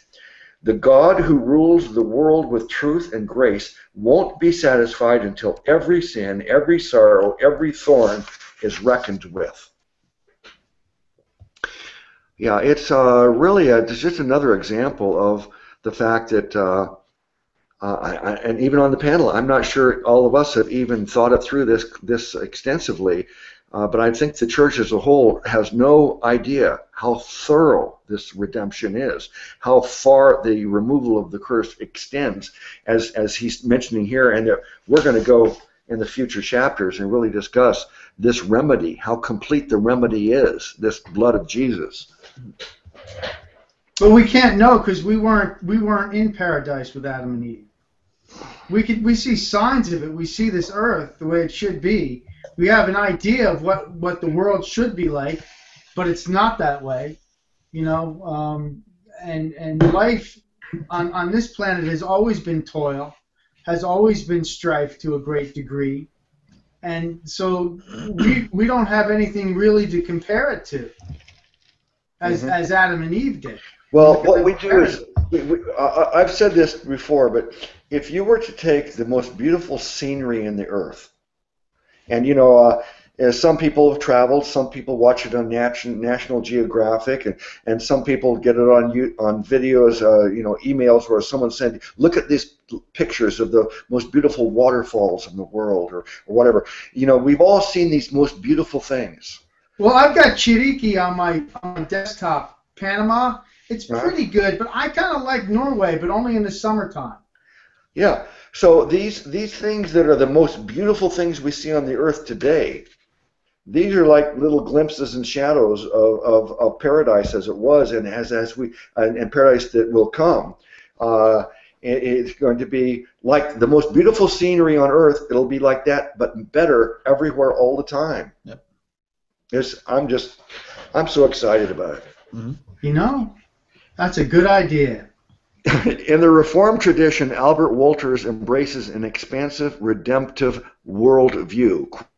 Quote, biblical religion views the whole course of history as a movement from a garden to a city, and it fundamentally affirms that movement. Redemption in Jesus Christ reaches just as far as the fall the horizon of creation is at the very at, at the same time the horizon of sin and self and of salvation. To conceive of either the fall of Christ's deliverance as encompassing less than the whole of creation is to compromise the biblical teaching of the radical nature of the fall and the cosmic scope of redemption. So when we understand how great the fall is, then we can better understand how great and vast redemption is. Well, we do have a glimpse of it here, but we're always wishing, like, wouldn't it be better if we didn't have to have uh, like all the stresses of life on us and we could actually enjoy it? Tons of us go on vacation, right? And by the time we get done with our vacation, we need a vacation from our vacation because it's so stressful. right. You know, but imagine actually having a real vacation. That would be what I would say in a perpetual vacation, where you don't have the stresses of vacation, where the things in life that you went on vacation for you can actually realize. Now that that would be good. But I think there's another side to that too, which is that you go on vacation knowing that one day the vacation is going to be over and you got to come back to all the toil and everything else you got to do. So it's like, you know, but but that's what you tell people. Say, right? Well, that's heaven. It's the vacation you never return from. It's it's the it's there is no coming back. Why go on a vacation? It's a tease anyway. yeah. Well, That's why I live in San Diego. Even the best vacations, you know, to me, I, I don't Yep. travel. I don't travel. It's physically, it's very hard for me. My my body aches all the time, and traveling just makes it worse. And uh, but when I if- when I get into this uh, eternal vacation, you know, if I want to travel, I'm not going to have an achy body to deal with. Well, you won't be tired. I do Right. want there to be a nightlife. This kind of bothers me about daytime all the time. I gotta take issue with it. Can you just like put a little darkness down with some lights? You know. Yeah. Okay. Uh, Jesus came not only to rescue people from ultimate destruction, he came also to rescue the entire universe from ultimate destruction. He will transform our dying earth into a vital new earth, fresh and uncontaminated, no longer subject to death and destruction. The curse is real, but it, it is temporary. Jesus is the cure for the curse. And I've noticed here also the words cure and curse, uh, they're the same except for that letter S, which stands for serpent. Ha ha ha. Okay. Uh, he, he came to set to set derailed uh, human history back on its tracks. Earth won't be put out of its misery. It will be infused with a greater life than it has ever known, at last becoming all that God meant for it to be. Uh, we have never seen the earth as God made it. Our planet, as we know it, is a shadowy, half tone image of the original. But it does whet our appetites for the new earth, doesn't it? If the present earth, so diminished by the curse, is at times so beautiful and wonderful, if our bodies, so diminished by the curse, are at times overcome with a sense of the earth's beauty and wonder, then how magnificent will the new earth be? And what will it be like to experience the new earth in something else we've all we've never known? Perfect bodies. That's just what we've been talking about. A mature Christian Bible student wrote me a note after reading a draft of this book. Quote, I realize now that I have always thought that when we die, we go immediately to our eternal home. After I was there, that would be the end of the story. I wouldn't care about what happened to Earth and everything on it. Why should I care about a doomed planet? Without Christ, both the earth and mankind would be doomed. But Christ came, died, and rose from the grave. He brought deliverance, not destruction. Because of Christ, we are not doomed, and neither is the earth. Earth cannot be delivered from the curse by being destroyed. It can only be delivered by being resurrected. As we'll see in the next section, Christ's resurrection is the forerunner of our own, and our resurrection is the forerunner of the earth's. Wow. Okay, so that's we'll uh, we'll uh, go into chapter 11 uh, when we pick up next time. Uh, let's use the remaining time to kind of uh, emphasize any key points and make conclusions here. Uh, I think that this point that he just made in that last paragraph is a really important point that our resurrection it will preclude the earth's resurrection. So we know that um, there, as we see this timeline, um, we've got this fallen world and fallen man, and then you've got some individuals like us. Who knows how many?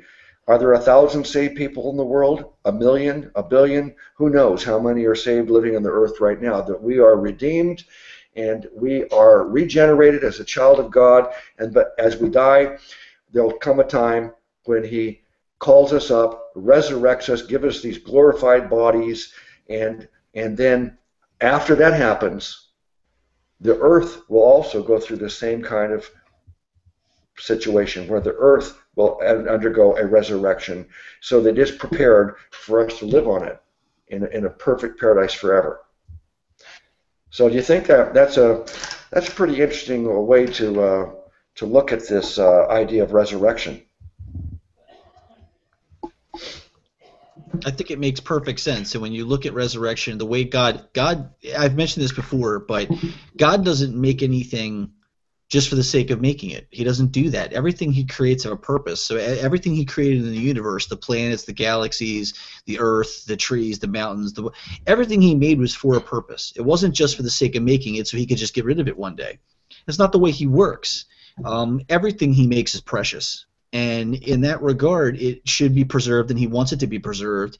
And that speaks volumes to the fact that there's only one option, and that option is that God is going to restore what he once made as good, and not only restore it but make it even better. Mm. I, wonder, I wonder if this goes to beauty, that people just don't see the beauty in a flower. They don't catch the beauty in the wind, or or a bird that flies, or a butterfly. You know, it, it seems to me like they kind of think that heaven's going to be this cosmic place where all of that's not going to be there why wouldn't it be? Mm-hmm. Yeah. Yeah, it's uh, you know, I, everybody knows I like to golf, and sometimes in a golf course, you know, there's a lot of beauty around.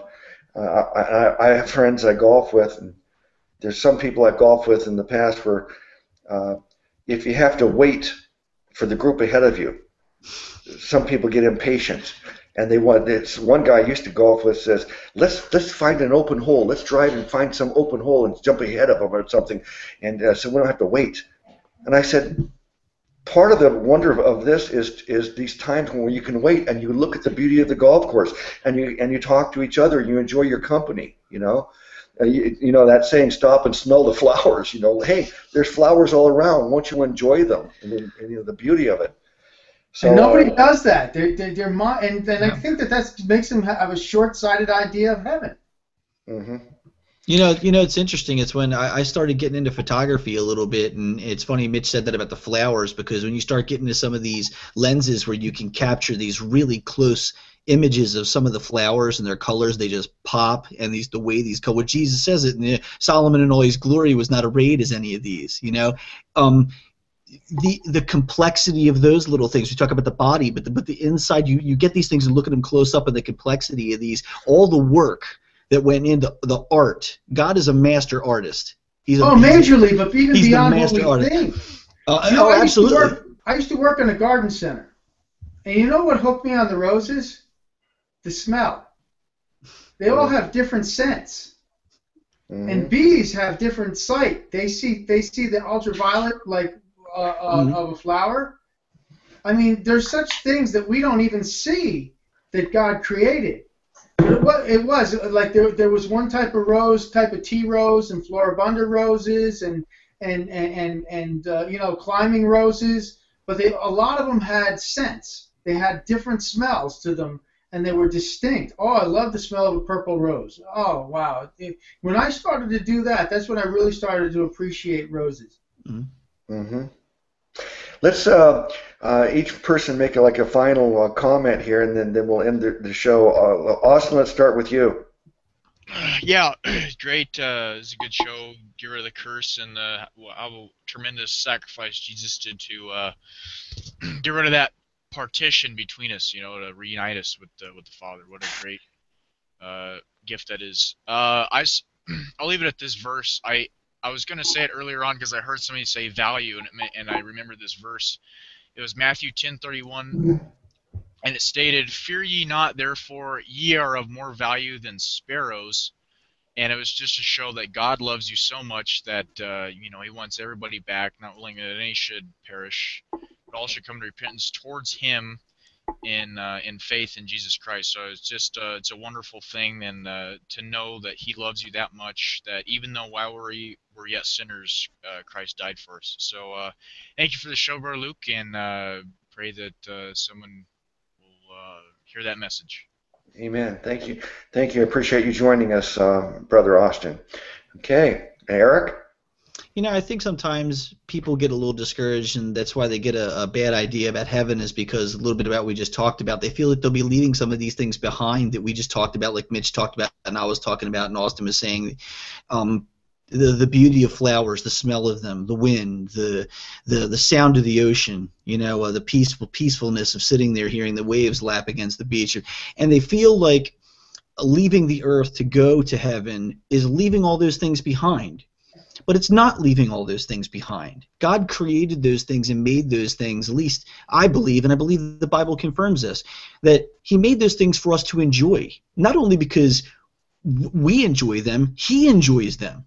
He made them that way, not just for our enjoyment, because He enjoys what He created. And why would he create something so enjoyable to only take it away? If that's your feeling, you have a wrong feeling. It's those joys are going to be there. They were made for a reason, and they weren't made so that God could show us these things and then snatch them away from us. That's not joy. That's not that's not enjoyment. Mm-hmm. Amen. Okay, uh, brother Mitch. You know, I would just ditto what Eric just said. I mean, he said that so well. Yeah, you're you're always safe in doing that with Eric, aren't you? yeah, I mean, you know, why not? I mean, but but it's true that that, that heaven is a place beyond, you know, and, and, and it's there's beaches and, and and mountains and shores and amusement parks probably. Not that I know completely, but it is a place, a place where you can go, where all the places that you couldn't completely enjoy or the little bit of joy that you snatched or stolen on the earth that you, you, you kind of got from looking at the good architecture of some beautiful houses or whatnot. You know, you were never able to buy those houses. Now you can walk into them, enjoy them. They're like they're yours. You were never able to, to, to, to completely enjoy life because of all of the, the problems that, that, that, that, that there is in life. But now, the new heaven is this place where all of that that stuff that, that, that takes away our joy. We see the joy in front of us, but we can't attain to it because there's so much sin and so much problems on the earth. That joy is attainable forever through Jesus Christ. Mm-hmm. Amen. Uh, next time we're going to pick up in chapter 11, and the question asked is why is resurrection so important? Um, and uh, we've talked about uh, not only is this uh, this pertain to this uh, renewal, this resurrection is not only for man and our bodies, but also for the earth and for all the whole universe. This restoration will happen. Now, for anybody watching this, uh, if you're getting excited about heaven, I, I hope you are, because uh, it's it's going to be the, the joy of being in heaven forever is going to is beyond our wildest dreams and, and we want you to be able to enjoy that too. And uh, uh, there's there's only one thing that you're required to do so that you can partake of this and, and have eternal life in the kingdom of God, uh, this new new heavens and new earth, where it's going to be so beautiful and and just everything wonderful forever and ever. There's only one thing that you're required so that you can participate in that and have it, and that is that you put your faith in Jesus Christ completely. Now, I know that a lot of people watching this show is are saying, "Well, I have faith. I have a lot of faith," and uh, I'm sure that many people watching this do have faith. But I want to make sure your faith is uh, directed correctly. Do not put your faith in your own ability to to live a good life and be a good person, and somehow, if you're good enough, God God will be pleased and give you heaven. That's not. No one can do that. If you could do that, Jesus would not have had to come here and die for our sins if, if man could solve the problem on his own. So please do not put your faith in yourself. Do not put your faith in any of the religions of the world. They'll all fail you. If the religions of the world could save you, then Jesus wouldn't have had to die for our sins. I'm asking you to put your faith in Jesus Christ. Make Jesus the object of your faith. Believe that, that He is God and he loves you so much, he came to this world and became a man so he could die for your sins. And he did. He died for the sins of the whole world. So now sin is not a barrier between man and God anymore. You can have a relationship with God. Jesus Christ is this God Almighty, manifest in the flesh as a man. And you can have the relationship with him because he paid for your sins. All, all that's required of you is that you reject everything else and instead put your faith entirely in the Savior Jesus Christ. Now, is he worthy of your faith? Can you? Why should you trust Jesus? Because he raised himself from the dead. By by raising himself from the dead, he proved that he is God. He proved that he has the power over life and death, and he is worthy of our faith. You're justified in putting your faith in Jesus because he raised himself from the dead. So uh, depend on him and and reject everything else. Understand you're helpless and hopeless, and you need Jesus Christ to save you. And once you do, he gives you eternal life right then, and you could never lose it for any reason. If you do that, let us know. We want to celebrate with you. Make a comment on this video, and uh, we want to know uh, if, if you're going to be joining us on the new heavens and the new earth in eternity. I want to thank all the panelists for joining me again, and uh, uh, everybody watching this, bless you all in the name of our great Savior God. His name is Jesus Christ. Amen.